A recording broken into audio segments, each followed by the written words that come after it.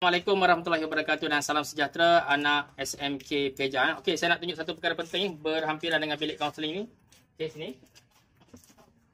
Okey, anda lihat ah, ini adalah pipe yang anda gunakan selepas anda makan beristirahat di kawasan luar bilik kaunseling ni. Okey, sering kali walaupun saya dah pesan ya, ramai pelajar masih uh, tak menyeluruh lah ya. Jadi saya buat video ni kan untuk anda semua supaya tahu bila anda lepas basuh tangan kan, lepas basuh tangan semua, lepas basuh tangan. Okey, Dah siap semua, ramai pelajar, niat dia dah bagus lah. Dia nak tutup rapat. So, bila tutup rapat, pipe kita ni baru lagi. Tapi dia problem sikit. Okay. Bila tutup rapat, air masih keluar. So, berlaku pembaziran lah. Kita tak suka, tak nak pembaziran ni. Jadi, masa anda tutup pipe tu, okay, zoom sikit sini. Okay, masa anda tutup pipe tu, okay, jangan terlalu rapat. Bila rapat, air keluar.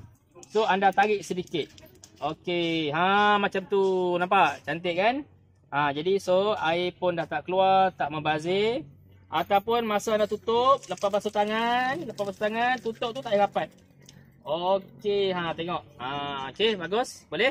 So saya harap uh, ini adalah mesej ni sampai kepada semua warga sekolah kita. So pastikan ya, kita tak nak budaya membazir ni satu budaya yang kita tak nak dalam kehidupan kita. Sebaik-baiknya kita kurangkan ataupun ada teruslah membazir ni ya. Sangat tak bagus. InsyaAllah ya, ini pun lah satu proses pendidikan untuk kita.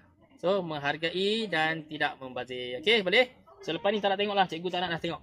Kalau air masih keluar, tarik sikit ataupun jangan rapat. Okay, itu saja. Assalamualaikum warahmatullahi wabarakatuh.